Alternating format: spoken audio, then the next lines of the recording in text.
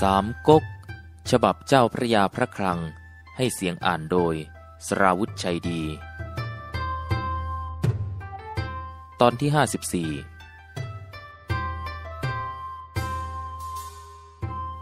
ฝ่ายซุนกวนครั้นแจ้งกิติศัพท์ว่า เล่าปีไปได้เมืองเสฉวนแล้วให้เล่าเจียงมาอยู่เมืองกองอัน จึงปรึกษากับขุนนางทั้งปวงว่า เล่าปียืมเมืองเกียงจิ๋วไว้เป็นที่อาศัย เราจะให้ไปทวงคืนไว้ให้ขึ้นแก่เมืองเรา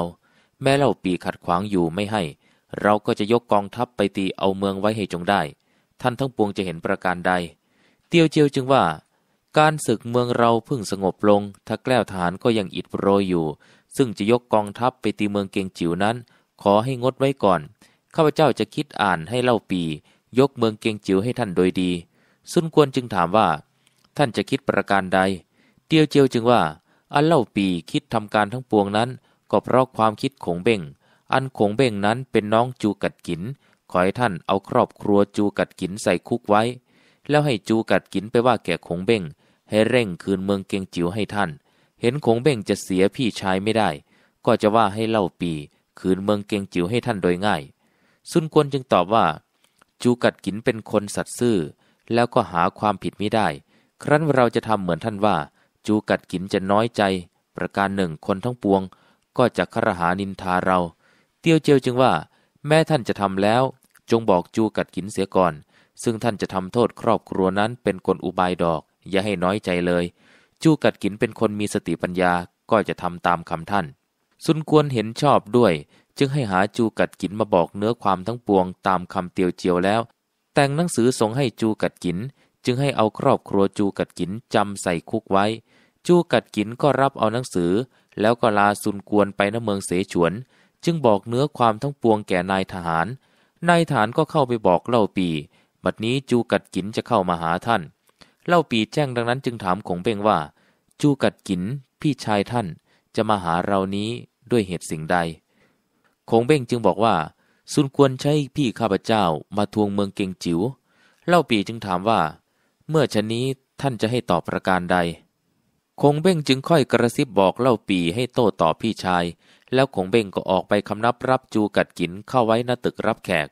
จูกัดกินทำแกล้งร้องไห้สะอื้นไปเป็นอันมาก คงเบ้งจึงแกล้งถามว่า พี่มาเห็นหน้าข้าพเจ้าแล้ว เหตุใดจึงร้องไห้ชนี้เล่า จูกัดกินจึงว่า บัดนี้สุนกวนจับบุตรภรยาพี่ไปจำไว้ เห็นจะถึงแก่ความตายสิ้น คงเบ้งจึงว่า เป็นเหตุทั้งนี้เพราะสุนกวนจะคืนเอาเมืองเกียงจิ๋วจึงให้ทำชนี้ แล้วถามว่าซุนกวนให้มาหาหรือ หรือพี่หนีมา จูกัดกินจึงบอกว่าซุนกวนใช้พี่ถือหนังสือมาให้เล่าปีคงเบ้งจึงว่าอย่าวิตกเลย เราจะพากันเข้าไปหาเล่าปี แล้วข้าพเจ้าจะว่ากล่าว ให้เล่าปีคืนเมืองเกียงจิ๋วให้ซุนกวน จูกัดกินได้ฟังก็มีความยินดีคงเบ้งจึงพาจูกัดกินเข้าไปคำนับเล่าปี แล้วจูกัดกินก็หนังสือนั้นยื่นให้เล่าปี เล่าปีรับหนังสือมาอ่านดูเป็นใจความว่า เดิมเล่าปี ยืมเมืองเกียงจิ๋วไว้เป็นที่อาศัย บัดนี้ถึงสัญญาแล้วสุนควรจะคืนเอาเมืองเกียงจิ๋วเล่าปีแจ้งในหนังสือแล้วก็โกรธ จึงตอบตามคำของเบ้งกระซิบบอกไว้ว่า เดิมสุนควรยกน้องสาวให้เป็นภรรยาเรา เราก็ได้พามาไว้ณเมืองเกียงจิ๋วครั้นเรายกมาเมืองเสฉวนสุนควรไม่ได้เกรงใจเราทำกลมาล่อลวงพาภรรยาเราไปไว้ณเมืองกังตังบัดนี้ยังซ้ำให้มาว่าจะคืนเมืองเกียงจิ๋วอีกเล่า และสุนควรคิดอ่านทำการทั้งนี้ หาสมเป็นผู้ใหญ่ไม่ เราคิดอยู่ว่า จะยกกองทัพไปรบเมืองกังตังให้ได้คงเบ่งได้ฟังดังนั้นก็ทำเป็นร้องไห้ร่ำว่าแก่เล่าปีว่า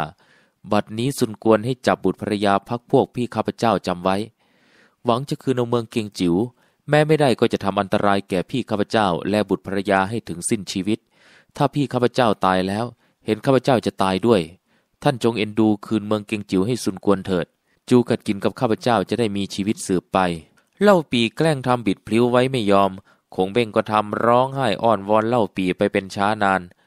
เล่าปีจึงว่า เมืองเกียงจิ๋วนั้นมีเมืองโทขึ้นหกหัวเมือง เราเสียไม่ได้เพราะเห็นแก่หน้าท่าน เราจะคืนแต่เมืองเตียงสา เมืองเลงเหลง เมืองหุยเอียงสามตำบลนนี้แบ่งให้สุนกวนกึ่งหนึ่ง คงเบ่งก็ทำเป็นยินดีจึงว่า ถ้าท่านเอ็นดูดังนั้นแล้ว จงแต่งหนังสือให้จูกัดกิน ถือไปถึงกวนอูให้แจ้ง จะได้แบ่งเมืองสามตำบลให้แก่ซุนกวน เล่าปีให้แต่งหนังสือเป็นใจความว่า เล่าปีให้ยกเมืองเตียงสา เมืองเลงเหลง เมืองหุยเอียง ซึ่งขึ้นแก่เมืองเกียงจิ๋วนั้นให้แก่ซุนกวน ครั้นแต่งเสร็จแล้วก็ส่งให้จูกัดกินแล้วว่า เมื่อท่านจะไปหากวนอูนั้น จงนบนอบว่ากล่าวแต่โดยดี ด้วยน้ำใจกวนอูนั้นร้ายวู่วามนัก แต่เราก็คิดเกรงอยู่จูกัดกินรับคำแลหนังสือแล้วกลับมาณเมืองเกียงจิ๋ว จึงให้ทหารพาเข้าไปคำนับกวนอู บอกเนื้อความทั้งปวงแล้วเอานหนังสือส่งให้ กวนอูแจ้งในหนังสือแล้วจึงว่า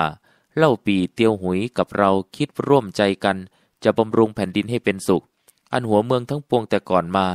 ก็ขึ้นอยู่ในพระเจ้าเฮียนเต้ บัดนี้คนทั้งปวงซึ่งมีฝีมือ เห็นว่าแผ่นดินเป็นจลาจลต่างคนต่างทำศึกกำเริบแข็งเมืองไว้ อันธรรมดาผู้ใดเป็นหัวเมืองแล้ว ก็ตั้งใจทำราชการโดยสุจริต แม้มีข้อรับสั่งมาประการใด ก็ให้พึงพิเคราะห์ดู ถ้าเห็นชอบให้ทำตาม แม้ผิดก็ให้บอกชี้แจงไปแก่ผู้ทำนุบำรุงราชการให้แจ้ง บัดนี้เล่าปีพี่เรา จะให้คืนเมืองสามตำบลให้สุนควรนั้น เห็นไม่ควร เราไม่ได้ให้ตามคำเล่าปี ท่านจงกลับไปบอกสุนควรเถิด จูกัดกินได้ฟังกวนอูว่าดังนั้น อ้อนวอนว่าท่านจงเอ็นดูข้าพเจ้าเถิด สุนควรเห็นว่าข้าพเจ้ากับขงเบ้งเป็นพี่น้องกัน จึงให้จับบุตรภรยาข้าพเจ้าจำไว้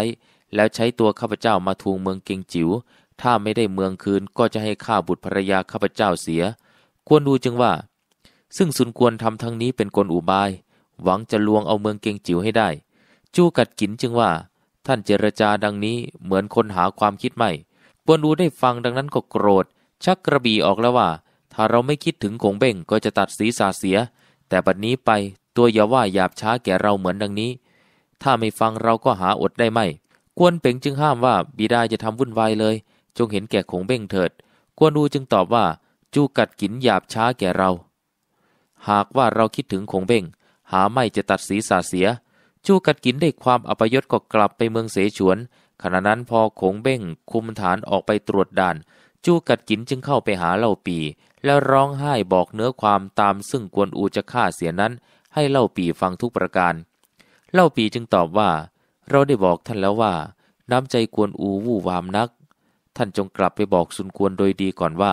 ให้งดอยู่แต่พอเรายกไปตีเมืองฮันตงได้แล้ว เราจะให้กวนอูมาอยู่เมืองฮันตง อันเมืองเกียงจิ๋วและหัวเมืองทั้งนั้น เราจะคืนให้ซุนกวนทั้งสิ้น จูกัดกินไม่รู้ที่จะตอบประการใด ก็จำใจกลับไปเมืองกังตังจึงบอกเนื้อความตามซึ่งเล่าปีกวนอูว่ากล่าวนั้นให้ซุนกวนฟังทุกประการ ซุนกวนได้ฟังก็โกรธจึงว่าอาเล่าปีกวนอูว่ากล่าวมาทั้งนี้ เป็นความคิดของเบ่งน้องท่าน จูกัดกินจึงบอกว่าคงเบ่งนั้นก็เป็นทุกข์ด้วยข้าพเจ้าได้ออนวอนเล่าปี เล่าปีจึงสั่งให้กวนอูคืนเมืองสามตำบลให้ท่าน ครั้นข้าพเจ้าถือหนังสือมาให้กวนอู กวนอูโกรธไม่ให้ แล้วจะฆ่าข้าพเจ้าเสีย ซุนกวนจึงว่าเล่าปีนั้นก็ได้ออกปากคืนเมืองสามตำบลให้แล้ว เราจำจะแต่งฐานซึ่งมีฝีมือ ไปรักษาเมืองสามตำบลไว้ จะดูท่วงทีกวนอูจะทำประการใด จูกัดกินจึงว่า ท่านคิดนี้สมควรนัก ซุนกวนจึงสั่งให้ปล่อยบุตรภรยาจูกัดกินเสีย แล้วจัดทหารซึ่งมีฝีมือไปรักษาเมืองทั้งสามตำบล และนายฐานทั้งสามคนนั้นกลับมาบอกซุนกวนว่า ข้าพเจ้าไปจะใกล้ถึงเมือง กวนอูคุมฐานออกมาไล่รุกรานข้าพเจ้า แล้วท้าทายมิให้อยู่รักษาเมืองทั้งสามตำบล แม้ผู้ใดช้าอยู่ล่วงวันไป ก็จะจับฆ่าเสีย ซุนกวนได้ฟังดังนั้นก็โกรธ จึงให้หาโลซกเข้ามาแล้วว่า เล่าปียืมเมืองเกงจิ๋วไว้นั้นว่า ต่อได้เมืองเสฉวนแล้วจะคืนเมืองเกงจิ๋วให้ ตัวท่านก็เป็นนายประกัน บัดนี้เล่าปีก็ได้เมืองเสฉวนแล้ว ให้หนังสือมาให้คืนเมืองสามตะบนให้เรา กวนอูขัดขวางไว้แล้วทำหยาบช้าดังนี้ ตัวท่านเป็นนายประกันช่างนิ่งฟังเล่นได้ โลซกจึงว่าใจข้าพเจ้าจะนิ่งเสียหาไม่ได้ ซึ่งกวนอูทำดังนี้ข้าพเจ้าคิดกลอุบายไว้ข้อหนึ่ง เห็นจะในเมืองเกียงจิ๋วโดยง่าย ซุนกวนจึงถามว่าอุบายเป็นประการใด โลซกจึงบอกว่าข้าพเจ้าจะคิดให้ไปตั้งค่าย อยู่ณปากน้ำเมืองเรา ให้ฐานซุ่มอยู่ แล้วจะให้ไปเชิญกวนอูมากินโต๊ะข้าพเจ้าจะว่ากล่าวเอาเมืองเกียงจิ๋วแต่โดยดี ถ้ากวนอูขัดขวางอยู่ ก็จะให้ฐานซึ่งซุ่มอยู่นั้น จับตัวฆ่าเสีย แม้กวนอูไม่มาสมความคิดข้าพเจ้า ท่านจงยกกองทัพไปตีเมืองเกียงจิ๋วให้ได้ ซุนควรเห็นชอบด้วยจึงให้จัดแจงการทั้งปวงตามคำโลซกงำเต็กจึงว่า ท่านจะดูหมิ่นอันกวนอูนั้นมีฝีมือดังฐานเสือ แม้ไม่สมความคิดก็จะกลับมาทำอันตรายเรา สุนควรได้ฟังดังนั้นก็โกรธ จึงว่าจะให้คอยอยู่เมื่อใดจะได้เมืองเกียงจิ๋วแล้วสั่งโลซกให้เร่งทำการตามซึ่งคิดไว้ โลซกรับคำแล้วก็คำนับลาออกมาจัดแจงเรือ และฐานทั้งปวงพร้อมแล้ว ก็ไปทอดอยู่หน้าปากน้ำลกเขา ขึ้นไปตั้งค่ายอยู่บนบก จึงให้กำเหลงหนึ่งลิบองหนึ่งคุมฐานซุ่มอยู่ แล้วให้แต่งโต๊ะเตรียมไว้ จึงให้แต่งหนังสือไปเชิญกวนอูมากินโต๊ะ และจัดทหารซึ่งมีถ้อยคำถือไปหน้าเมืองเกียงจิ๋วทหารนั้นจึงบอกแก่กวนเป๋งตามในหนังสือโลซกกวนเป๋งจึงพาผู้ถือหนังสือนั้นเข้าไปคำนับกวนอู แล้วจึงเอาหนังสือยื่นให้กวนอู กวนอูแจ้งในหนังสือว่า โลซกให้เชิญไปกินโต๊ะนักข่ายปากน้ำลกเขา แล้วกวนอูจึงสั่งผู้ถือหนังสือว่า ให้เร่งไปบอกแก่โลซกเถิด พรุ่งนี้เราจึงจะไป ทหารนั้นก็คำนับลากวนอูกลับไป กวนเป๋งจึงว่าแก่กวนอูว่า ซึ่งโลซกให้มาเชิญบิดาไปกินโต๊ะนั้น ข้าพเจ้าเห็นว่าจะเป็นกลอุบาย เหตุใดบิดารับว่าจะไป กวนอูได้ฟังดังนั้นจึงหัวเราะแล้วตอบว่า เหตุทั้งนี้ เพราะจูกัดกินไปบอกสุนกวน โลซกจึงคิดกลอุบายให้เราไปกินโต๊ะ แล้วจะได้ทวงเอาเมืองเกียงจิ๋วคืนไปไว้เป็นกรรมสิทธิ์สุนกวนครั้นเราจะไม่ไปชาวเมืองกังตังจะดูหมิ่นเราว่ากลัว พรุ่งนี้เราจะพาฐานยี่สิบคน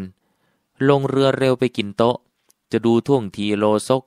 จะเกรงง้าวที่เราถือหรือไม่ กวนเป่งจึงว่า อันตัวบิดานี้อุปมาเหมือนทองคำซึ่งจะล่วงเข้าไปให้พวกโจรนนั้นไม่ควรข้าพเจ้าเกรงว่าเมืองเกียงจิ๋วนี้จะมีอันตราย เล่าปีก็จะติโทษท่าน ควรดูจึงตอบว่า เจ้าอย่าวิตกเลย อันบิดานี้ก็มีฝีมือเรื่องลืออยู่ แต่ฐานโจโฉเป็นอันมากนับตั้งแสน บิดากับม้าตัวเดียว ก็ยังไม่ต้องเกาทันแลอาวุธทั้งปวง ขับม้ารบพุ่งรวดเร็วเป็นหลายกลับ อุปมาเหมือนเข้าดงไม้อ้อ และออกจากพงแขม จะกลัวอะไรแก่ฐานเมืองกังตังเพียงนี้ ดังหนูอันหาสง่าไม่ได้ออกปากว่าจะไปแล้วจะให้เสียวาจาใหญ่ มาเลี้ยงจึงว่า ท่านจะไปนั้นจงคิดอ่านระวังตัวเกลือกจะมีอันตราย ควรดูจึงว่า ซึ่งท่านกำชับครั้งนี้ก็ควรอยู่ ตัวเรากับควรเป๋งจะคุมฐานไปสักห้าร้อยแล้วสั่งควรเป่งให้จัดแจงทหารห้าร้อยลงเรือรบสิบลำให้จอดคอยดูอยู่ แม่เห็นเราโบกธงขึ้นเมื่อใด จึงคุมฐานเข้าไปช่วย ควรเป่งรับคำแล้วก็ออกมาจัดเรือรบ และทหารพร้อมไว้ตามกวนอูสั่ง ฝ่ายผู้ถือหนังสือกลับมาถึงค่าย จึงบอกโลซกว่า กวนอูยินดีจะมาพรุ่งนี้ โลซกได้ฟังก็ดีใจ จึงปรึกษากับลี่บองว่า อันกวนอูนั้นมีฝีมือจะมาพรุ่งนี้ เราจะคิดอ่านจับประการใดลี่บองจึงว่ากำเหลงกับข้าพเจ้าก็จัดแจงฐานซุ่มอยู่ข้างนอกเป็นสองกอง ถ้าเห็นกวนอูไม่มีฐานมา เราจะจัดซุ่มฐานไว้แต่ข้างในสักห้าสิบคน ถ้าได้ทีแล้วจึงจะช่วยกันจับกวนอูฆ่าเสีย แม่กวนอูมีทหารมาด้วย ข้าพเจ้ากับกำเหลงได้ยินเสียงประทัดเมื่อใด ก็จะคุมฐานตีกระนาบเข้าจับกวนอูฆ่าเสียให้ได้ โลซกเห็นชอบด้วย ครั้นเวลารุ่งเช้า จัดแจงการตามซึ่งคิดไว้ แล้วให้ฐานไปคอยดูกวนอู ว่าจะมีฐานมาด้วยหรือไม่ ทหารนั้นกลับมาบอกโลซกว่าข้าพเจ้าเห็นกวนอูลงเรือเร็วมาลำหนึ่ง มีพลแจวประมาณยี่สิบคน กับธงแดงสำหรับกวนอู และกวนอูนั้น แต่งตัวโอโถงใส่เสื้อแพรสีม่วง โพกแพรสีเขียวไม่ได้ใส่เกราะ เห็นจิวชองนั้นแบกเง้านั่งเคียงกวนอูอยู่ และฐานซึ่งมีฝีมือนั้นก็มาด้วยกวนอูสักเจ็ดคนแปดคน โลซกได้ฟังดังนั้นก็ออกไปรับ เห็นกวนอูแต่งตัวมีสง่า และฐานก็มาด้วยเป็นหลายคน โลซกคิดพรั่นอยู่เกลือกจะทำการไม่สำเร็จ ครั้นพากวนอูเข้ามาถึงในค่าย ถ้อยทีถ้อยคำนับกัน แล้วโลซกเชิญกวนอูกินโต๊ะ ขณะเมื่อเสพสุราอยู่นั้น โลซกครั่นครามไม่ได้เงยหน้าขึ้นดูกวนอู ให้แต่คนใช้รินสุราให้กิน กวนอูเสพสุราพลางไม่ได้คิดย่อท้อ พูดจาถึงการรบพุ่งแล้วหัวเราะเล่น โลซกคอยชำเลืองดู เห็นกวนอูจะใกล้เมาจึงว่า เรามีเนื้อความข้อหนึ่ง จะขอเจรจาด้วยท่าน กวนอูจึงถามว่าท่านจะว่าสิ่งใด โลซกจึงว่า เดิมสุนกวนให้เราทวงเมืองเกียงจิ๋วถึงสองครั้งสามครั้ง เล่าปียังขัดสนอยู่ ว่าจะยืมเมืองเกงจิ๋วไว้เป็นที่อาศัยก่อน ต่อได้เมืองเสฉวนแล้วจะคืนเมืองเกงจิ๋วให้ เนื้อความทั้งนี้เราได้ประกันไว้ต่อสุนกวน บัดนี้เล่าปีก็ได้เมืองเสฉวนแล้ว ซึ่งจะหวงเมืองเกงจิ๋วไว้นั้นไม่ควรควรดูจึงตอบว่า ท่านให้มีหนังสือไปหาเรามาจะกินโตเล่นวันนี้เป็นหน้าเล่าหน้าเข้าอยู่ ซึ่งท่านจะเอาการบ้านเมืองมาว่านี้ไม่ควร จงนิ่งเสียก่อนเถิด โลซกจึงว่า นายเราเป็นเจ้าเมืองกังตัง ก็คิดจะแผ่แดนเมืองออกไปให้กว้างขวาง แต่มีน้ำใจเอ็นดูท่านกับเล่าปีซึ่งหนีโจโฉมา ซึ่งให้ยืมเมืองเกงจิ๋วอยู่เป็นที่อาศัย บัดนนี้เล่าปีก็คิดถึงไมตรีนายเรา จึงให้มีหนังสือมาให้ท่านคืนเมืองสามตำบลให้นายเราก่อน ซึ่งท่านขัดขวางไว้นั้นเห็นไม่สมควร กวนดูจึงตอบว่า ครั้งโจโฉยกมาจะตีเอาเมืองกังตังนั้น เล่าปีก็ได้เกณฑ์ทะแกล้วทหารยกไปสกัดรบโจโฉเป็นหลายตำบล ทหารทั้งปวงได้สู้เกาทันแลอาวุธต่างๆได้ความลำบากยากแค้นทุกคน แล้วเล่าปีได้เสียสเสบียง เลี้ยงทหารเป็นอันมาก แต่เมืองเกงจิ๋วเพียงนี้ หาสมควรจะเป็นบำเหน็จเล่าปี และฐานซึ่งได้ทำการศึกไม่ ซึ่งท่านจะมาทวงเอาเมืองเกงจิ๋วนี้ไม่ควร โลซกจึงว่า ครั้งเล่าปีกับท่านแตกมาแต่ทุ่งเตียงปันโป นายเราคิดสงสารจึงให้อยู่เมืองเกงจิ๋วจนกว่าจะตั้งตัวได้อันเล่าปีนั้นเป็นคนมีความสัตย์ ได้ออกปากสิ่งใดแล้วก็ไม่ได้เสียวาจา แต่ตัวท่านมาว่ากล่าวทั้งนี้ คนทั้งปวงก็จะล่วงตีเตียนได้ ควรดูจึงตอบว่า อันการทั้งนี้ใช่จะสิทธิ์ขาดอยู่กับเรานั้นหาไม่ได้ เป็นการของเล่าปี ตามแต่จะว่ากันเถิด โลซกจึงว่า เรารู้อยู่ว่าท่านกับเล่าปี ได้สาบานกันไว้เป็นพี่น้องร่วมอุทธรกัน แม้จะมีการสิ่งใดมาเป็นของเล่าปี ก็เหมือนหนึ่งของท่าน ธุระสิ่งใดของท่าน ก็เหมือนธุระของเล่าปี เหตุใดท่านจะมาบิดพลิ้วทั้งนี้ควรอูยังไม่ได้ตอบประการใด จิวฉองฐานควรอูจึงร้องว่า หัวเมืองทั้งปวงนี้เป็นของพระเจ้าเฮียนเต้ เหตุใดโลซกจึงว่าเมืองเกงจิ๋วเป็นของซุนกวนเล่าควรดูได้ฟังดังนั้นก็ทำโกรธลุกออกมา ให้ในกับจิวฉองเป็นสำคัญ แล้วจึงเอาเงามาถือไว้ จึงแกล้งว่าเรากับโลซกว่ากล่าวกันด้วยการบ้านเมือง ตัวเป็นแต่ทหารเราให้ถือเงามา เหตุใดตัวจึงล่วงเข้ามาเจรจาด้วยดังนี้ไม่ควร ตัวจงเร่งออกไปเสียจากค่าย จิ้วชองแจ้งในทีควรดูดังนั้นก็ออกมา จึงเอาธงแดงโบกขึ้นเป็นสำคัญ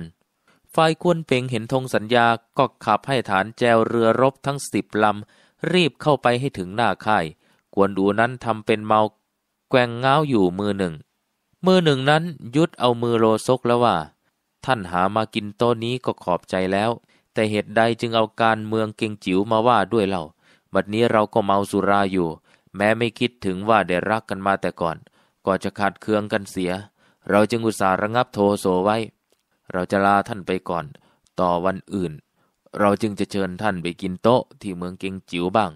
แล้วจูงมือโลซกออกมานอกค่าย ฝ่ายกำเหลงลิบอง ซึ่งคุมฐานซุ่มอยู่นั้น ครั้นเห็นกวนอูถือง้าวจูงมือโลซกออกมา ครั้นจะเข้าทำอันตรายตามสัญญา ก็เกรงกวนอูจะฆ่าโลซกเสีย กวนอูครั้นพาโลซกมาถึงริมตลิ่ง จึงว่าเราขอบใจท่านนัก จึงค่อยอยู่จงดีเถิด ว่าแล้วก็วางโลซกเสีย ลงเรือให้ฐานชักใบกลับไปถึงเมืองเกียงจิว๋ว โลซกก็กลับมาค่าย จึงให้หากำเหลงลิบองเข้ามาปรึกษาว่า เราคิดอ่านจะทำร้ายกวนอูก็ไม่สมคิด เราจะทำประการใดอีกเล่าลี่บองจึงว่า ท่านจงแต่งหนังสือ บอกไปถึงซุนกวนว่า ซึ่งจะทำร้ายกวนอูนั้น ก็ไม่สมความคิด ขอให้จัดแจงทหารยกกองทัพไปตีเมืองเกียงจิ๋วใหม่ และการข้างปากน้ำนี้ ท่านจงรักษาไว้ โลซกเห็นชอบด้วยก็แต่งหนังสือตามคำลี่บอง แล้วให้ม้าใช้ถือไปให้ซุนกวน ซุนกวนแจ้งในหนังสือดังนั้นก็โกรธ จึงจัดแจงเกณฑ์ทหารสิ้นทั้งเมืองกังตังเตรียมไว้ จะยกไปตีเมืองเกียงจิ๋วพอมาใช้ฝ่ายเหนือมาแจ้งข้อราชการว่า บัดนี้โจโฉเกณฑ์ฐานได้ประมาณสามสิบหมื่นจะยกลงมาเตียวเมืองกังตังซุนควรแจ้งดังนั้นก็ตกใจ จึงให้แต่งหนังสือบอกข้อราชการฝ่ายเหนือไปถึงโลซกว่า เราจะยกไปตั้งรับโจโฉอยู่ตำบลหับหุย ให้โลซกตั้งรักษาปากน้ำเมืองเราให้มั่นคง แล้วซุนกวนจึงให้ฐานยกไปตั้งขัดทัพอยู่ตำบลยี่สูซุนกวนนั้นก็ยกกองทัพไปตั้งมั่นอยู่ตำบลหับหุย หวังจะรับกองทัพโจโฉ ฝ่ายโจโฉตระเตรียมทะแกล้วทหารแล้ว จะยกกองทัพออกจากเมืองหลวง พอโปหันเอาหนังสือเข้ามาให้ โจโฉรับเอามาอ่านดูในหนังสือนั้นเป็นใจความว่า ข้าพเจ้าโบหันขอคำนับเตือนท่านวุยกงให้แจ้ง ด้วยคำโบราณกล่าวไว้ว่า ฝ่ายฐานผู้จะเป็นแม่ทัพแม่กอง แม้จะยกไปทำการสงครามแห่งใดตำบลใด ให้บำรุงทะแกล้วทหาร และเครื่องสตราวุธให้พร้อมเป็นสง่าแล้ว จึงจะยกไปเป็นธรรมดา ฝ่ายพลเรือนเล่า ก็ให้มีน้ำใจโอบอ้อมอารี แก่อาณาประชาราษฎรให้อยู่เย็นเป็นสุข แล้วทำนุบำรุงบ้านเมืองไว้ให้เป็นสง่า และเนื้อความสองประการนี้ ผู้ใดทำได้ จึงจะคิดอ่านตั้งตัวเป็นใหญ่ได้ อันหัวเมืองทั้งปวง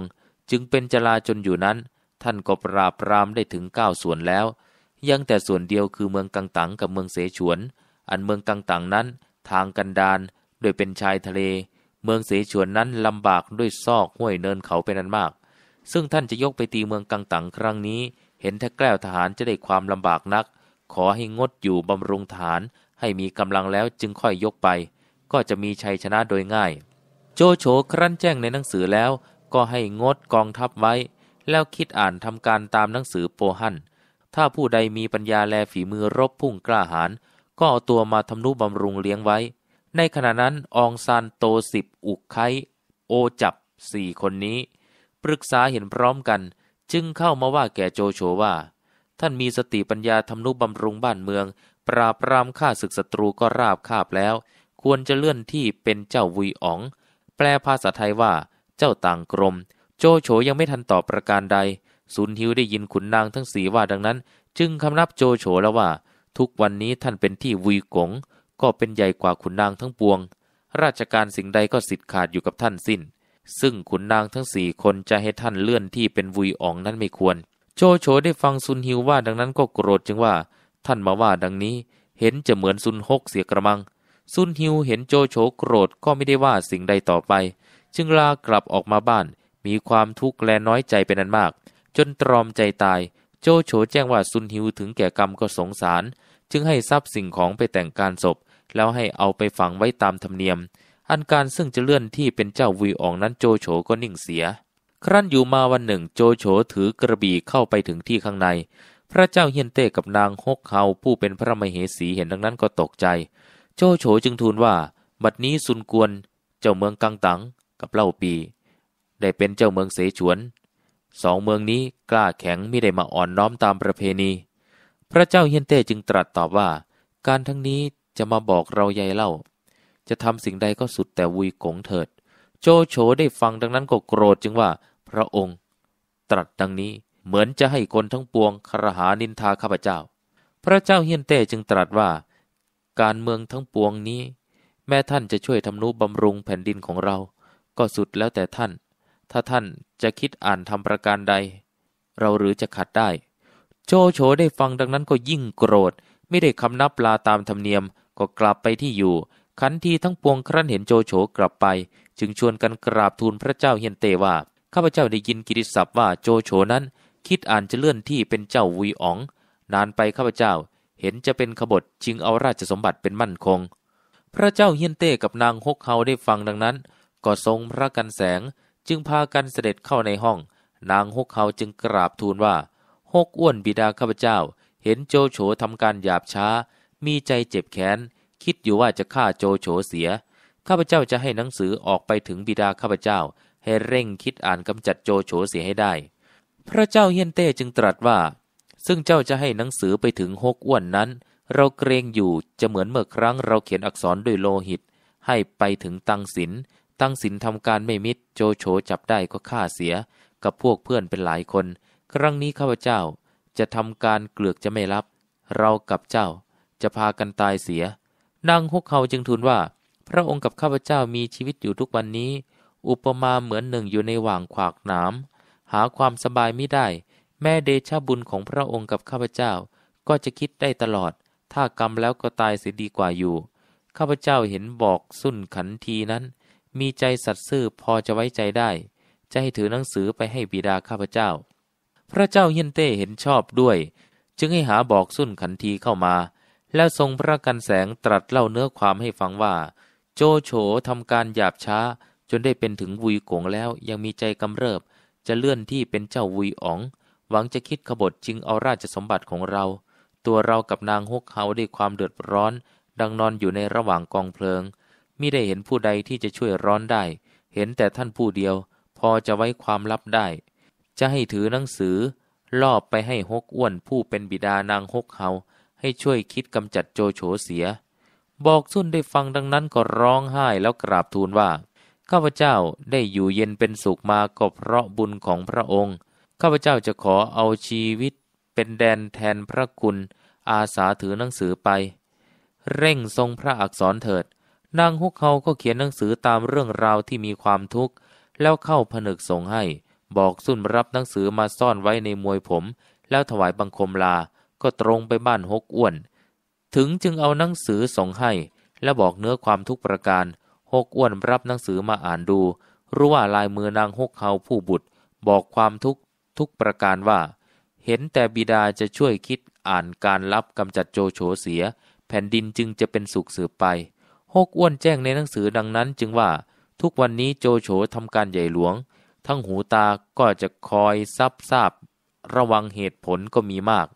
ซึ่งจะคิดการเบานั้นเห็นจะไม่สำเร็จ แม้ให้หนังสือรับไปถึงเล่าปีกับซุนกวน ให้ยกกองทัพมาทำการข้างนอก โจโฉก็จะยกออกไปต้านทาน แล้วเราจึงจัดผู้มีความคิดสัตย์ซื่อต่อแผ่นดินนั้นทำการเป็นไส้ศึกอยู่ในเมืองนั่นแหละ การจึงจะสำเร็จ บอกสุนเห็นชอบด้วยฮกกวนจึงแต่งหนังสือสองฉบับ ซึ่งจะส่งไปให้เล่าปีและซุนกวน แล้วเขียนหนังสือบอกเรื่องราว ฝากไปถึงนางฮกเขา ให้ทูลพระเจ้าเฮียนเต้ฉบับหนึ่ง แล้วเข้าผนึกส่งไป บอกสุนรับหนังสือมาซ่อนใส่ในมวยผม แล้วลาจะเข้าไปในวัง ขณะนั้นหญิงซึ่งโจโฉแต่งให้เข้าไปไว้คอยฟังเหตุอยู่ในวัง ครั้นรู้ความดังนั้นก็บอกความแก่โจโฉ โจโฉแจ้งดังนั้นก็พาฐาน รีบไปคอยสกัดบอกสุนอยู่หน้าที่ประตูวัง ครั้นเห็นบอกสุนเดินมาโจโฉจึงถามว่าไปไหนมา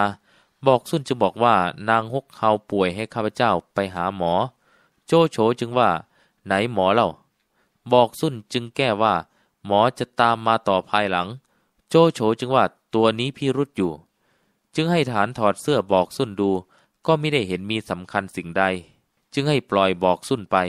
บอกสุนก็ลาเดินออกมาประมาณสิบวา พอลมพัดมา หมวกพลัดตกจากศีรษะ โจโฉเห็นดังนั้นก็มีความสงสัย จึงเรียกบอกสุนกลับมาค้นดู ก็ไม่เห็นสิ่งใด โจโฉก็ให้ปล่อยไป บอกสุนตกใจลาโจโฉแล้ว เอาหมวกใส่ลง หมวกนั้นเบี้ยวไป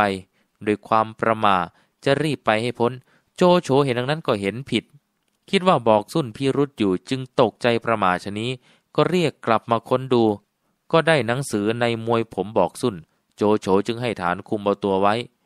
แล้วเอาหนังสือฉีกผนึกออกอ่านดู เป็นใจความว่าข้าพเจ้าฮกอ้วน ซึ่งคิดจะกำจัดโจโฉเสียนั้นจำจะให้หนังสือไปเกลี้ยกล่อมเล่าปีกับซุนกวน ให้ยกกองทัพมาก่อน จึงจะทำได้ตลอด ครั้นแจ้งในหนังสือดังนั้นก็โกรธ จึงพาฐานกับบอกสุนมาหน้าบ้าน แล้วให้จำบอกสุนไว้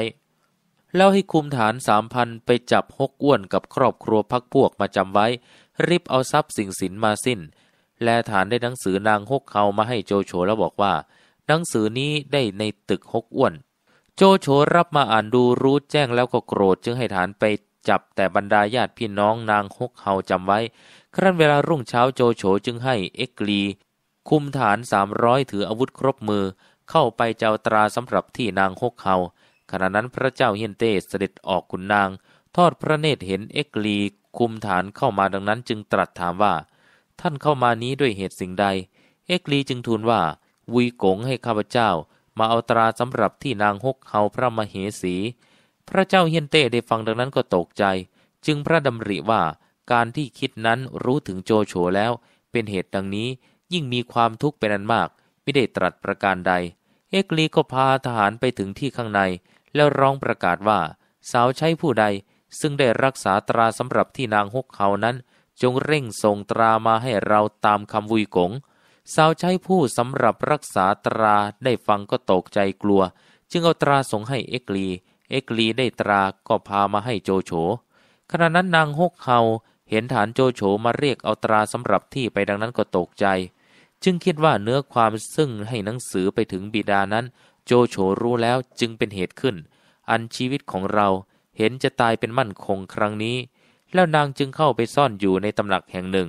จึงสั่งให้ใส่กุญแจข้างนอก หวังจะไม่ให้ผู้ใดเข้าไปทำอันตรายได้ ฝ่ายโจโฉจึงให้ หัวหิม คุมฐานห้าร้อยเข้าไปจับนางฮกเขาหัวหิมเมื่อเข้าไปถึงข้างในจึงถามสาวใช้ทั้งปวงว่า นางฮกเฮาอยู่ไหน บรรดาหญิงข้างในได้ฟังดังนั้นก็ตกใจจึงว่านางฮกเฮาหนีไปอยู่แห่งใดก็ไม่รู้ หัวหิมคุมฐานเที่ยวค้นดูทุกตำบลก็ไม่ได้พบ ครั้นดูไปเห็นตำหนักหลังหนึ่ง ปิดประตูประหลาดอยู่ ก็ให้ฐานถล่มเข้าไป หัวหิมก็เข้าไป จึงเห็นนางฮกเฮาซ่อนอยู่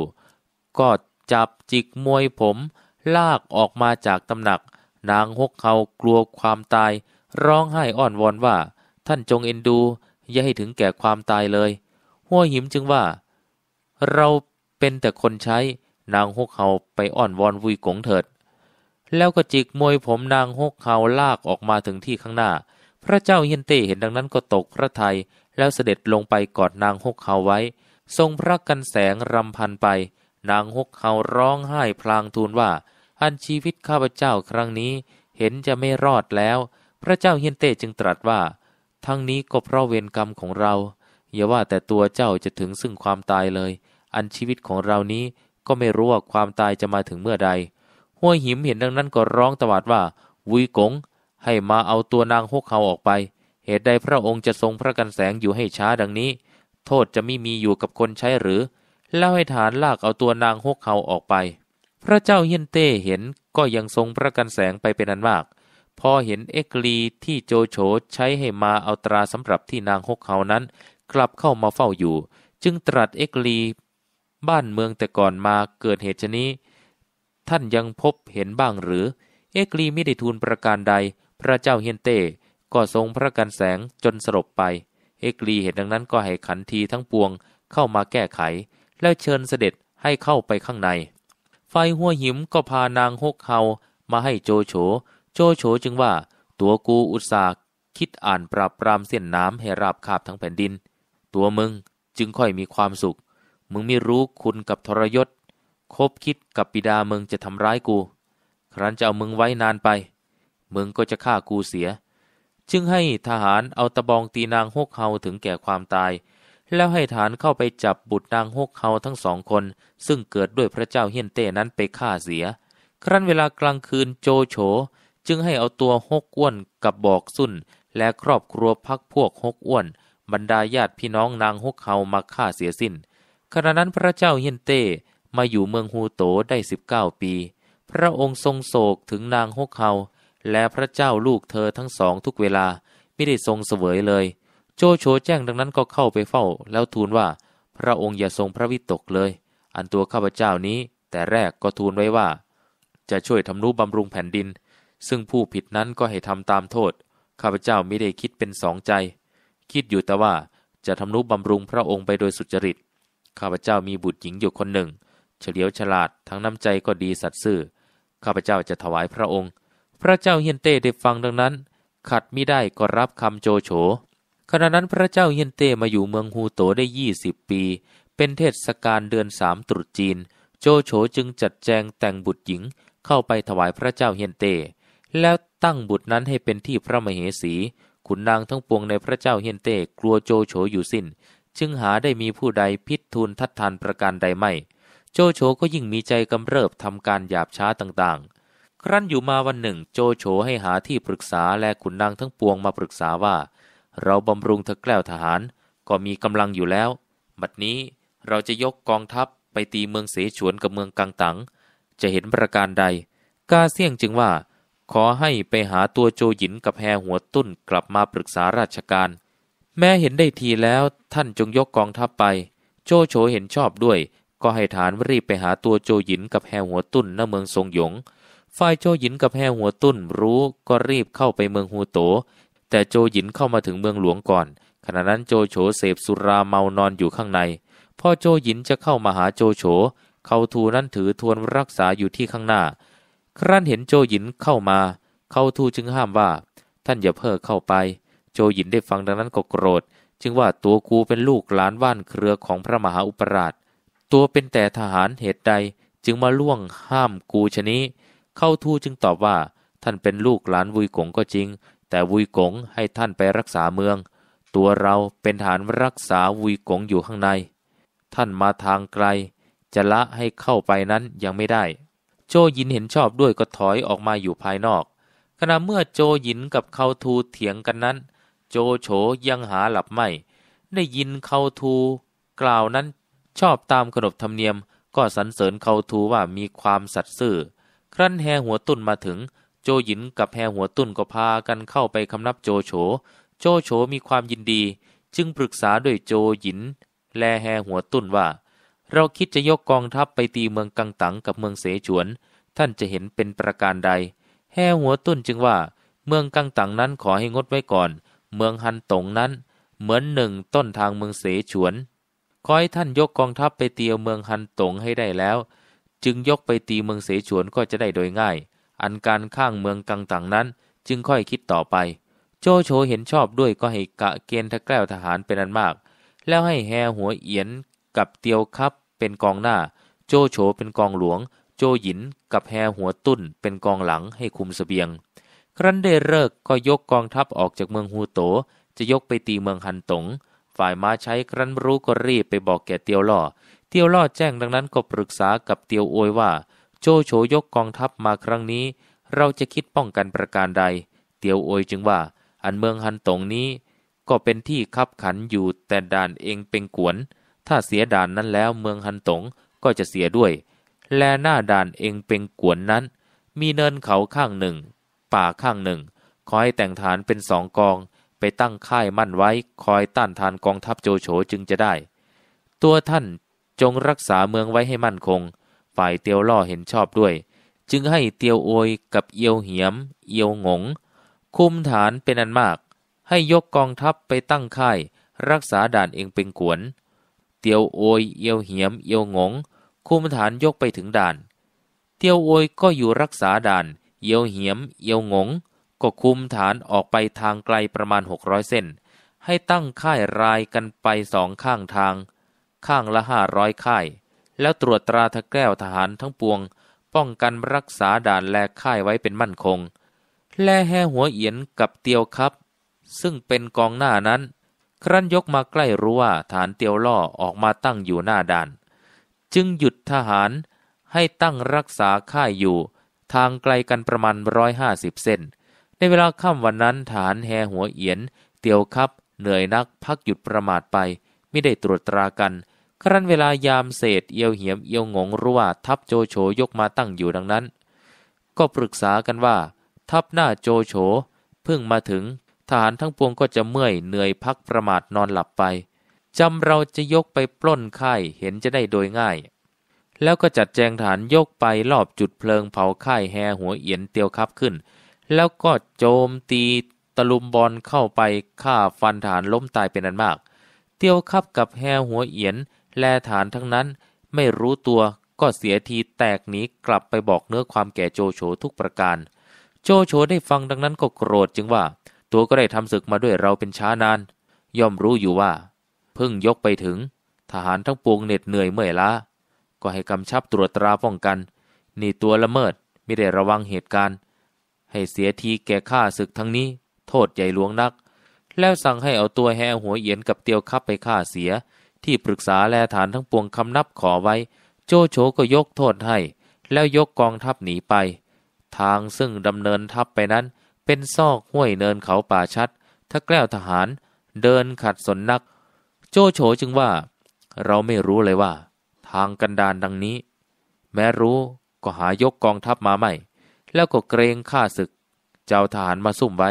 เข้าทูซี่หลงจึงค่อยกระซิบว่าวุยกงอย่าเจรจาดังนี้ ถ้าฐานทั้งปวงรู้จะเสียใจ โจโฉเห็นชอบด้วย ครั้นมาถึงค่ายเก่าที่เตียวคับกับแฮหัวเอียนตั้งไว้เพลิงไหม้เสียสิ้น โจโฉจึงให้ตั้งค่ายลงใหม่ แล้วกำชับนายทหารเอกโท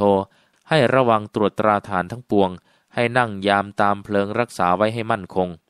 ครั้นเวลารุ่งเช้าโจโฉจึงขี่ม้าพาเขาทูสิหลงออกจากค่าย ไปถึงเขาแห่งหนึ่ง จึงขึ้นดูบนเนินเขาเห็นข้าศึก ตั้งอยู่หน้าด่านมั่นคงนัก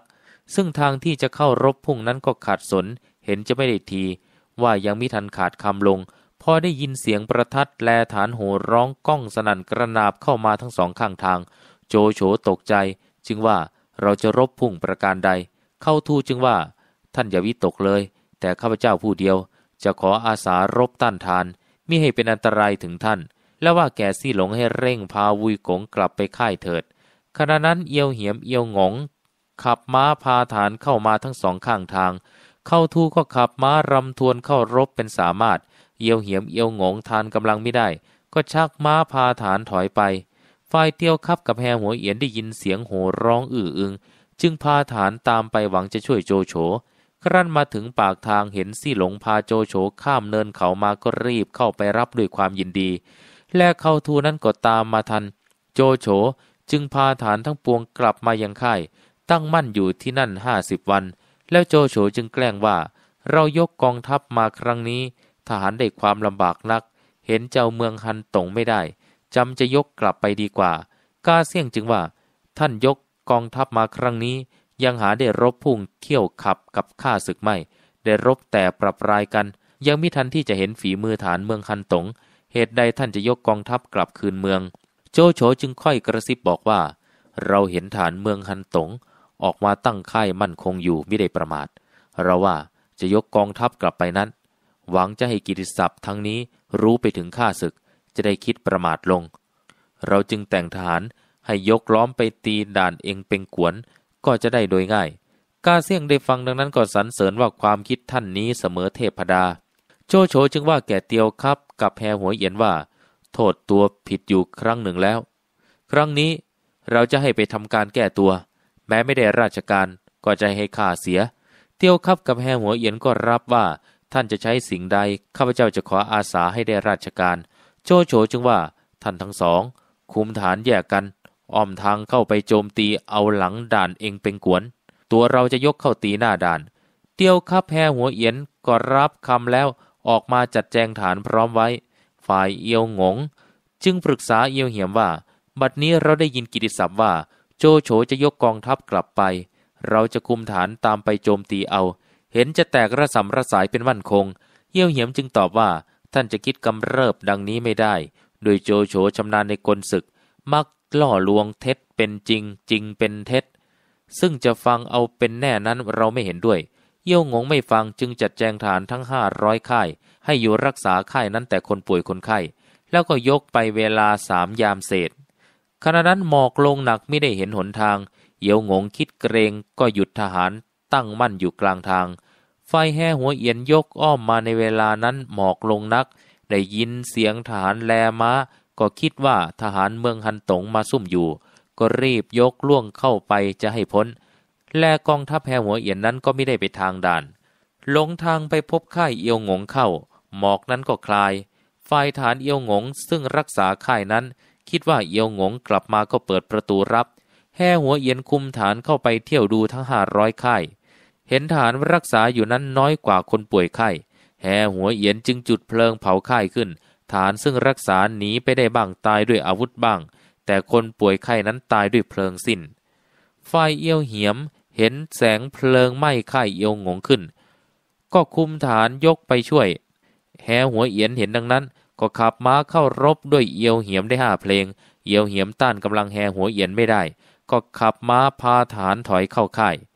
พอเห็นเตียวครับคุมฐานอยู่ในค่ายเป็นอันมาก เอียวเหียมก็พาฐานหนีไปเมืองลำเต็งฝ่ายเอียวงงเห็นแสงเพลิงหน้าค่ายไหม้ขึ้นดังนั้น ก็คิดว่าดีร้ายฐานโจโฉ ยกไปเผาค่ายเสีย ครั้นจะถอยกลับมาก็เกรงว่าโจโฉจะติดตามแต่เรรวนอยู่ พอฐานโจโฉตีกระนาบเข้ามาสามด้าน เยี่ยวงงจนตัวก็ทิ้งฐานเสีย ขับม้าลัดทางหนีไปแต่ผู้เดียว พบเตียวครับก็สู้รบกันเป็นสามารถ เตียวครับเอาทวนแทงถูกเอียวงงตกม้าตาย ขณะนั้นฐานเอียวงงซึ่งแตกหนีมา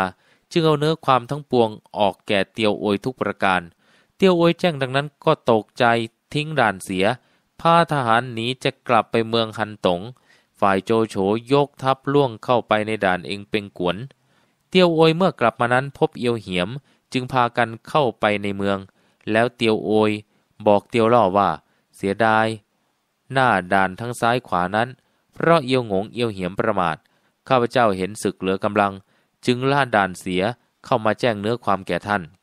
เตียวล่อได้ฟังดังนั้นก็โกรธ จึงสั่งให้เอาตัวเอียวเหียมไปฆ่าเสีย เอียวเหียมจึงว่า โทษข้าพเจ้าผิดก็จริงอยู่ แต่ว่าน้อย เดิมเอียวงงจะยกไปตีโจโฉข้าพเจ้าห้ามเอียวงงก็ไม่ฟังขืนยกไปจนข้าศึกล่วงเข้ามาเผาค่ายเสีย ข้าพเจ้าเห็นแสงเพลิงจึงคุมฐานไปช่วย ครั้นถอยมาทหารโจโฉยกเข้าชิงเอาค่ายข้าพเจ้าได้ อันโทษข้าพเจ้าผิดนั้น จะขอชีวิตไว้ทำราชการแก้ตัวก่อน ถ้าออกไปเสียทีกลับมาอีกจึงให้ข้าเสีย เตียวล่อให้งดโทษไว้แล้วเกณฑ์ฐานสองหมื่นให้เอียวเหียม ยกไปตีกองทัพโจโฉชิงเอาด่านคืน เอียวเหียมคุมทหารสองหมื่นยกไปพ้นเมืองลำเต่งแล้ว ก็ตั้งค่ายมั่นอยู่ ฝ่ายโจโฉให้แห่หัวเอียน คุมทหารสองพันเป็นกองหน้า จากค่ายด่านล่วงเข้าไปก่อน ขณะนั้น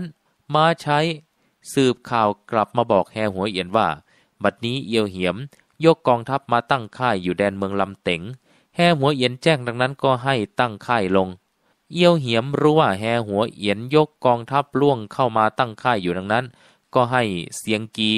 คุมฐานออกไปรบแห่หัวเอียนแห่หัวเอียนเห็นก็คุมทหารออกมาหน้าค่าย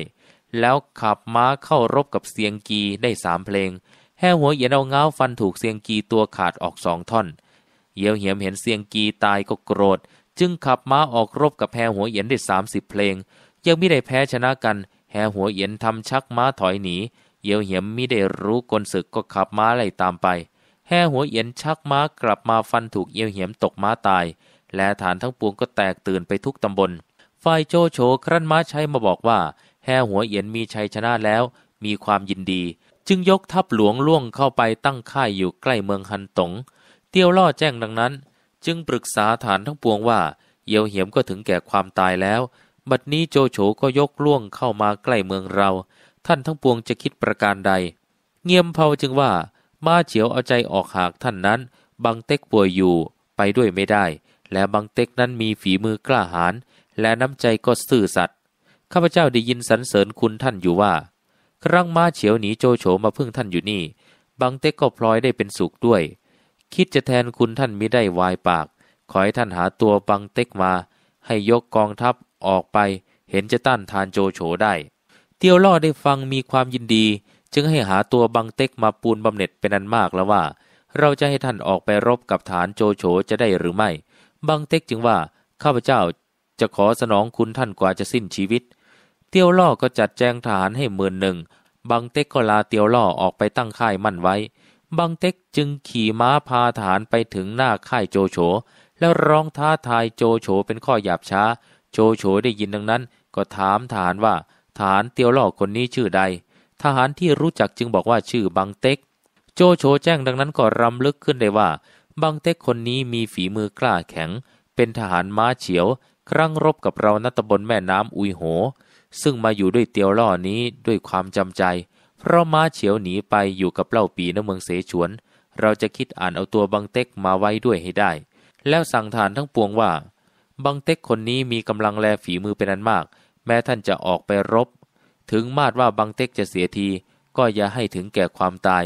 จงประหยัดรบพุ่ง แต่พอให้บังเต็กถอยกำลังลง เราจะคิดอุบายเอาตัวบังเต็กมาให้ได้ เตียวครับรับคำแล้วขับม้าออกไปรบด้วยบังเต็กได้ห้าเพลง เตียวครับก็ถอยหนีเข้าค่าย แห่หัวเอียนก็ขับม้าเข้ารบด้วยบังเต็กได้เจ็ดเพลง แห่หัวเอียนก็ถอยคืนกลับมา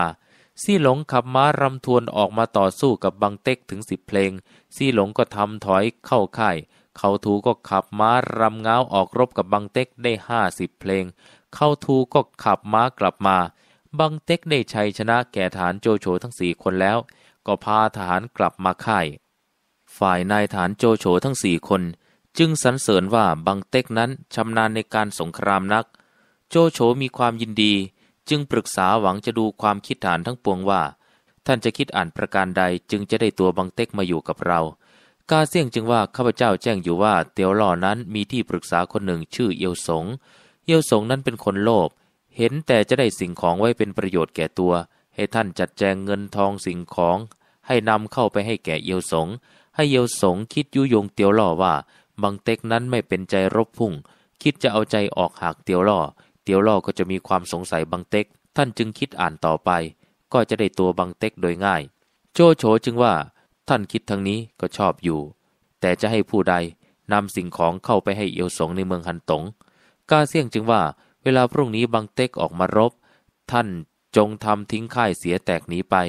บังเต็กก็จะเข้าอยู่ในค่ายนี้ ท่านจงจัดทหารซึ่งรู้พูดจา จงให้เอาทองคำแลงเงินแผ่เป็นแผ่น ให้ฐานนั้นซ่อนไว้ในมือเสื้อแล้วสั่งว่า ถ้าฐานบังเต็กแตกกลับเข้าเมือง ก็ให้ปลอมเข้าไปด้วย จะได้ว่ากล่าวและเอาสิ่งของนั้นให้แก่เอียวสง ครั้นเวลาค่ำท่านจึงคุมทหารเข้าไปปล้นค่ายบังเต็กก็จะแตกหนีเข้าเมือง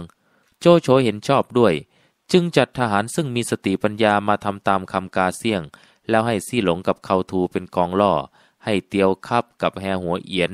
คุมฐานไปซุ่มอยู่สองข้างทางนายฐานทั้งสี่คนก็ทำตามคำโจโฉสั่ง ฝ่ายบังเต็กเห็นเขาทูกับซี่หลงยกมา ก็คุมฐานเข้ารบกับเขาทูซี่หลงเป็นสามารถ ซี่หลงเขาทูก็ทำถอยหนีไปไม่ได้เข้าค่าย บังเต็กก็คุมฐานโจโฉตีเข้าไปถึงประตูค่ายโจโฉ โจโฉก็พาฐานถอยหนีออกจากค่ายบังเต็กพาฐานเข้าไปในค่าย ในเครื่องสัตราวุธและเสบียงอาหารเป็นอันมากบังเต็กมีใจกำเริบให้แต่งโต๊ะเตรียมไว้ ครั้นเวลากลางคืนก็ชวนฐานทั้งปวงเสพสุราอื้ออึงอยู่ในค่ายฝ่ายซี่หลงเข้าทูคุมฐานเข้าข้างทิศเหนือแฮหัวเอียนคุมฐานเข้าข้างทิศตะวันออก เตียวคับคุมฐานเข้าข้างทิศตะวันตก เป็นสามด้าน แต่ทิศใต้นั้นเปิดไว้ ด้วยเป็นทางจะไปเมืองฮันตง ครั้นได้สำคัญเสียงประทัดก็จุดเพลิงเผาค่ายขึ้นทั้งสามด้าน แล้วขับฐานเข้าโจมตี ฝ่ายบังเต็กต้านฐานไม่ได้ ก็พาฐานหนีไปข้างทิศใต้ เข้าในเมืองฮันตง และฐานโจโฉซึ่งแต่งไปคอยอยู่นั้น ก็ปลอมเข้าไปในเมืองฮันตงด้วย จึงไปหาเอียวสงเอาเงินทองให้ และบอกเนื้อความว่า บัดนี้โจโฉผู้เป็นวุยกง รู้ข่าวว่าท่านมีสติปัญญา เป็นที่ชอบอัจฉาสายกับเตียวล่อ ให้ท่านช่วยคิดอ่านยุยง ให้เตียวล่อมีความสงสัยบางเต็ก และไมตรีท่านกับวุยกง จะได้มีต่อกันสืบไป เอียวสงเห็นเงินทองก็มีความยินดีด้วยโลภจึงสั่งฐานผู้นั้นว่า ท่านจงไปบอกโจโฉเถิด การสิ่งนี้อย่าได้วิตกเลย เราจะคิดอ่านว่ากล่าวกับเตียวล่อ ทหารก็กลับออกมาบอกโจโฉทุกประการ โจโฉแจ้งดังนั้นก็มีความยินดี ฝ่ายเอียวสงจึงเข้าไปยุเตียวล่อว่า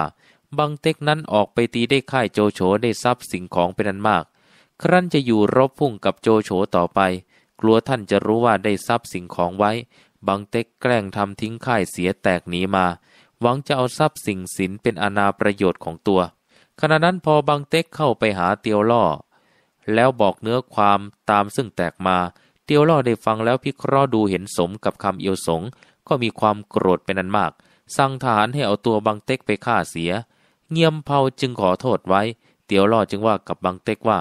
เราจะยกโทษตัวนี้ให้เงียมเผาไว้ครั้งหนึ่ง แม้พรุ่งนี้ตัวคุมฐานออกไปรบไม่มีชัยชนะแก่ข้าศึกเข้ามา ก็จะให้ตัดศีรษะเสีย บังเต็กมีความน้อยใจจำเป็นรับคำเตียวล่อ แล้วก็ลาออกมาจัดทหารเตรียมไว้ ฝ่ายโจโฉครั้นเวลากลางคืน ก็ให้เตียวคับกับแพหัวเอียน คุมฐานไปซุ่มอยู่ข้างเนินเขาทั้งสองข้าง แล้วให้ฐานขึ้นไปขุดหลุม เอาดินเกลี่ยปากหลุมไว้บนเนินเขา ครั้นเวลาจะใกล้รุ่งก็จัดแจงทหารให้ยกเข้าทำลายกำแพงเมือง แต่ตัวโจโฉกับทหารประมาณ 14-15 คน ขึ้นไปอยู่บนเนินเขาซึ่งขุดหลุมไว้นั้น ฝ่ายบังเต็กก็คุมทหารเปิดประตูเมือง ยกออกโจมตีฐานโจโฉ เขาทูเห็นดังนั้นก็ขับม้าเข้ารบกับบังเต็กเป็นสามารถ แล้วทำถอยหนี บังเต็กเห็นได้ทีก็ขับม้าไล่ไปถึงเนินเขา ฝ่ายโจโฉอยู่บนเนินเขา เห็นบังเต็กชักม้าไล่เขาทูมา จึงร้องว่าลงไปแก่บังเต็กว่า อันเมืองฮันตงนั้น เหมือนอยู่ในเงื้อมมือเรา เตียวล่อนั้นเหมือนลูกไก่ เราจะหักเข้าเตียวเมือง ตัวบังเต็กก็จะพลอยตายเสียด้วย จงเร่งคิดอ่านเข้ามานบนอบเราโดยดี จะได้พ้นความตายบังเต็กได้ฟังดังนั้นจึงคิดว่า ถ้าแม้นเราจะจับฐานได้สักร้อยหนึ่ง เอาไปให้เตียวล่อ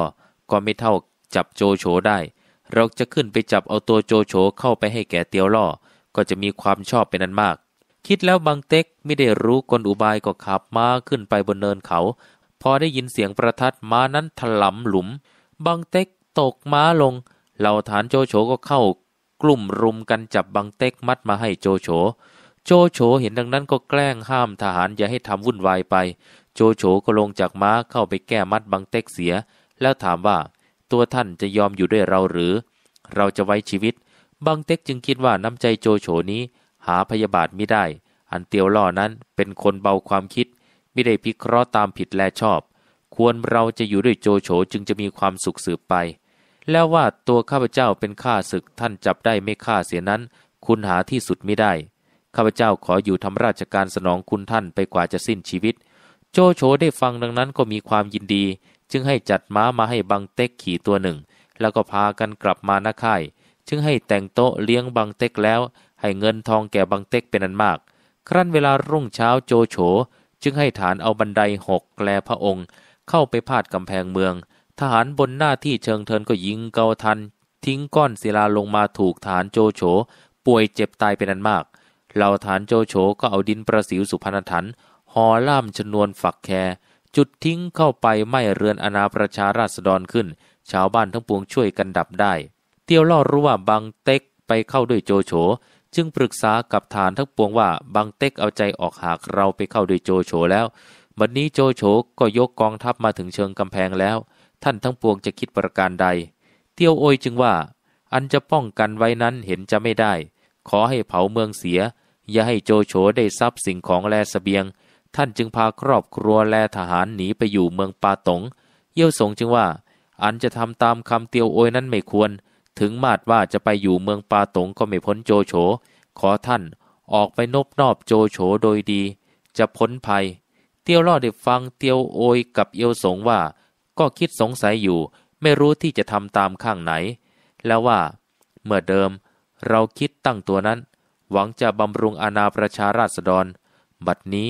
มีกรรมเป็นเหตุจวนตัวเข้าดังนี้ ครั้นจะเผาทรัพย์สิ่งของและสเสบียงอาหารสำหรับเมืองเสียก็ไม่ควร เราจำจะพากันหนีไปให้พ้น ครั้นเวลาสองยามเศษเตียวล่อก็พาครอบครัว พักพวกหนีออกข้างประตูทิศใต้ ไปณเมืองปาตง โจโฉรู้ดังนั้นก็มิได้ให้ฐานติดตามเตียวล่อ พอรุ่งเช้าก็พาฐานทั้งปวงเข้าไปในเมืองฮันตง โจโฉเห็นคลังแลฉางนั้นใส่ประแจอยู่ จึงให้ฐานกระทุ้งประตูเข้าไป เห็นเข้าของทั้งปวงมีอยู่มาก โจโฉมีความสงสาร จึงคิดว่าเตียวล่อนั้นเป็นคนสัตย์ซื่อมิได้ทำอันตรายเข้าของในเมืองเสียหนีไปแต่ตัวนั้นต้องคำโบราณ แล้วโจโฉก็แต่งหนังสือให้ฐานถือไปเกลี้ยกล่อมเตียวล่อ ว่าให้มานบนอบเราโดยดีเถิด เรามิทำอันตรายสิ่งใด ทหารนั้นก็รับเอาหนังสือไปถึงเมืองปาตง แล้วเอาหนังสือนั้นให้เตียวล่อ เตียวล่อแจ้งในเนื้อความดังนั้น ก็คิดเกรงโจโฉอยู่ว่าจะทำกลอุบาย จึงปรึกษาเตียวโอยผู้น้องตามในหนังสือโจโฉ เตียวโอยจึงว่าอน้ำใจโจโฉนั้นประกอบด้วยกลอุบายล่อลวง ซึ่งจะไปนั้นข้าพเจ้าไม่เห็นด้วย ขอให้รักษาเมืองปาตงไว้ให้มั่นคง แม่โจโฉยกตามมาจะได้รบพุ่งต้านทานไว้ เตียวล่อก็ฟังคำเตียวโอยผู้น้อง เยวสงจึงรอบแต่งหนังสือลับให้คนสนิทถือไปให้โจโฉในเมืองฮันตง โจโฉรับหนังสือมาอ่านเป็นใจความว่าข้าพเจ้าเอียวสงขอคำนับมาถึงท่านวีกง ด้วยเตียวล่อขัดขวางอยู่ ไม่มานั้น เพราะเตียวโอยผู้น้อง ขอให้ท่านยกกองทัพมาตีเมืองปาตงเถิด ข้าพเจ้าจะเป็นไส้ศึกอยู่ในเมือง โจโฉได้ฟังดังนั้นก็มีความยินดี จึงจัดแจงกองทัพยกไปตั้งอยู่ใกล้เมืองปาตง ฝ่ายเตียวล่อครั้นรู้ว่าโจโฉยกมา ก็ปรึกษาด้วยฐานทั้งปวงว่าปัจนี้โจโฉยกตามมา เราจะคิดป้องกันประการใด เตียวโอยจึงว่าข้าพเจ้าจะขออาสา คุมฐานออกไปรบด้วยโจโฉ แล้วเตียวโอยก็จัดแจงฐานยกออกไป โจโฉเห็นดังนั้นก็ให้เขาทูเข้ารบด้วยเตียวโอยได้ห้าเพลง เขาทูก็เอาทวนแทงถูกเตียวโอยตกม้าตาย ฐานทั้งปวงก็แตกหนีเข้าไปบอกแก่เตียวล่อ เตียวล่อแจ้งดังนั้นก็ตกใจ จึงเกณฑ์ทหารขึ้นรักษาหน้าที่เชิงเทินเป็นมั่นคง เยวสงเห็นดังนั้น จึงแกล้งเพทุบายว่าแก่เตียวล่อว่า อันจะนิ่งอยู่ชนี้ไม่ควร โดยข้าศึกมาตั้งประชิดเมืองอยู่ ข้าพเจ้าจะขอรักษาเมืองไว้ ท่านจงยกกองทัพออกไปทำสงครามด้วยโจโฉ จึงจะสมควรด้วยชาติทหาร ทั้งชื่อเสียงท่านก็จะปรากฏไปภายหน้า เตียวล่อมิได้รู้กลอุบายก็จัดแจงฐานยกออกไป แลฐานซึ่งออกไปด้วยเตียวล่อนั้น ก็ชวนกันกลับเข้าไปรักษาครอบครัวอยู่ในเมือง เตียวล่อเห็นดังนั้นก็ตกใจ จึงขับม้าถอยหนีเข้ามาถึงเชิงกำแพงเมือง โจโฉก็คุมฐานไล่ตามเข้าไปฝ่ายเอียวสงอยู่บนเชิงเทิน เห็นเตียวล่อหนีกลับมา ก็ให้ฐานปิดประตูเมืองเสีย โจโฉจึงร้องว่ากับเตียวล่อว่า ตัวท่านจะถึงแก่ความตายครั้งนี้แล้ว แม้เข้ามานบนอบเราโดยดี เราก็จะไว้ชีวิต เตี้ยวล่อได้ฟังดังนั้นก็ลงจากมา้าทิ้งอาวุธเข้าไปคำนับโจโฉ โจโฉมีใจเอ็นดู จึงพาเตียวล่อเข้าไปในเมือง แต่งให้เตียวล่อเป็นเจ้าเมืองปาตง บรรดาทหารของเตียวล่อนั้น ก็ตั้งตามผู้ใหญ่ผู้น้อย โจโฉปราบรามหัวเมืองซึ่งขึ้นแก่เมืองฮันตงราบคาบสิ้น ก็ปูนบำเหน็จทักแกล้วทหารเป็นอันมาก จึงให้หาเอียวสงมาแล้วว่า ตัวนี้ เป็นคนโลภหากตัญญูต่อนายไม่ได้ เห็นแก่ลาบสการ ควรหรือเอาใจออกหากเตียวล่อ แม้เราจะเลี้ยงตัวไว้สืบไป ก็จะเอาใจเผื่อแผ่แก่ข้าศึกศัตรู แล้วก็ให้ฐานเอาตัวเอียวสง ไปตะเวนแล้วฆ่าเสีย ตัดเอาศีรษะเสียบประจานไว้ หวังไม่ให้ผู้ใดดูเยี่ยง เมื่อโจโฉปราบปรามเมืองฮันตงแลหัวเมืองขึ้นนั้น คนทั้งปวงเรียกแว่นแคว้นนี้ว่า ตังฉวน แปลภาษาไทยว่า ทางกันดานฝ่ายตะวันออก จบตอนที่ 54